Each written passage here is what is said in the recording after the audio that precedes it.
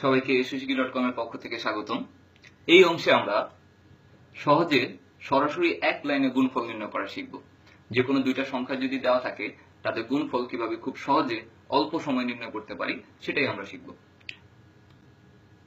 যেমন উদাহরণস্বরূপ, আমি বত্রিশকে একুশ দিয়ে গুণ করতে চাই।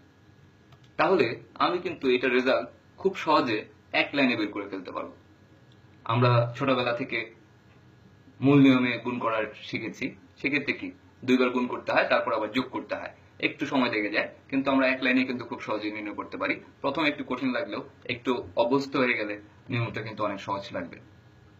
তো আমি এটা দেখেই বলে দিতে পারছি এটা রেজাল্ট হবে দুই, তারপর আসবে হচ্ছে তিন, তারপরে আসবে হচ্ছে সাত, তারপরে আসবে হচ্ছে ছয়।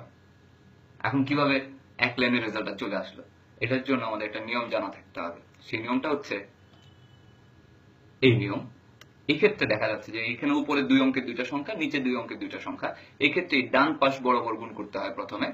প্রথমে ডান পাশ বরাবর গুণফল, পরবর্তীতে হচ্ছে ক্রস গুণফলের যোগফল, পরবর্তীতে হচ্ছে বাম পাশের যে সংখ্যাগুলো, অঙ্কগুলো আছে, তাদের গুণফল। ব্যাপারটাকে আরেকটু ভেঙে বলা যাক। আমাদের কি করতে হবে? বত্রিশের সাথে আমরা একুশ দিয়ে গুণ করেছি। তাহলে কি বলে বলেছি? এই নিয়মটা ফলো করতে হবে। তো এই নিয়মের মধ্যে কি? প্রথমে হচ্ছে ডান পাশে যে অঙ্কগুলো আছে, তাদের গুণফল। তার মানে কি? তার মানে হচ্ছে দুই আর একের গুণফল। তাহলে দুই আর একের গুণফল কত? দুই। আর পরবর্তী স্টেপ কি? ক্রস গুণফল। তাহলে ক্রস গুণফল যদি আমরা করি, তাহলে এই দিকে গুণফল কত? দুই দুগুণে চার। আর এদিকে গুণফল কত? তিন একে তিন, তাহলে চার, তিন, সাত। তাহলে আর পরবর্তীতে চলে আসবে হচ্ছে সাত। এর পরবর্তী স্টেপ কি? পরবর্তী স্টেপ হচ্ছে এই বাম পাশে যে অঙ্কগুলো আছে, তাদের গুণফল। তার মানে হচ্ছে দুই এবং তিনের গুণফল। তাহলে দুই আর তিনের গুণফল কত? ছয়। তাহলে বত্রিশ আর একুশের রেজাল্ট হচ্ছে ছয়শো বাহাত্তর। আরেকটা উদাহরণ আমরা দেখে ফেলি।